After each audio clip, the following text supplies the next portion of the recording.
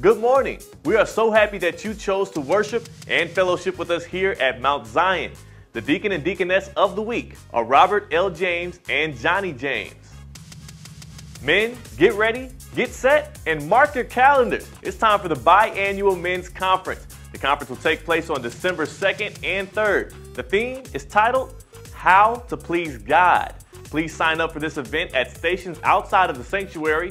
For more information, please contact Victor Didell, Don Mills, and Wilbur Wright.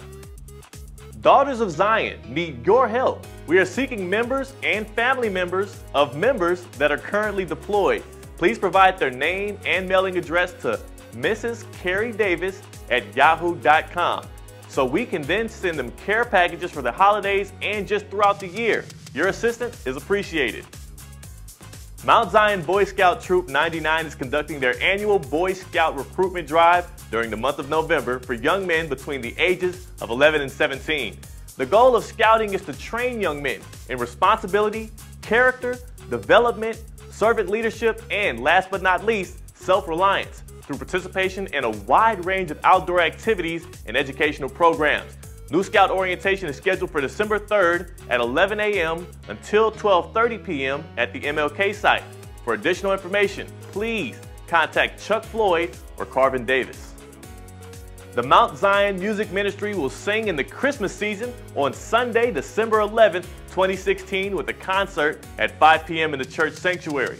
What a glorious time to praise God from whom all blessings flow. This will be our gift to the community as we celebrate the real reason for the season. Please join us for this festive occasion. For additional information, contact Minister Alonzo Maddox or Dr. T. Marshall Jones. The time is rapidly approaching for our annual Christmas community luncheon for needy families, our seniors, and the sick and shut in. On December 15th, the community luncheon will be held at our MLK site. This year, our goal is to prepare and distribute, listen to this, 1,000 gift bags along with a full course meal with all of the trimmings. Many items will be needed for the gift bags. A list of these items will be given out at the information desks in the lobby and in the church office along with a list of committee members. We are asking everyone to donate items for the gift bags or give monetary donations. Please make your check payable to Mount Zion Baptist Church. Together, we will be able to help many families and individuals in meeting their essential daily needs.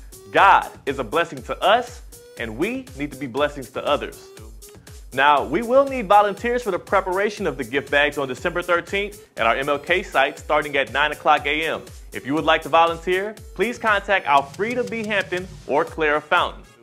Stay connected with us by using the Mount Zion app or the MT Zion of Albany website. I'm Theo Dorsey. Thanks for joining our weekly video announcements. Please keep our sick and shut in members and our members who have lost loved ones in your prayers. Let's continue to worship. Have a blessed week.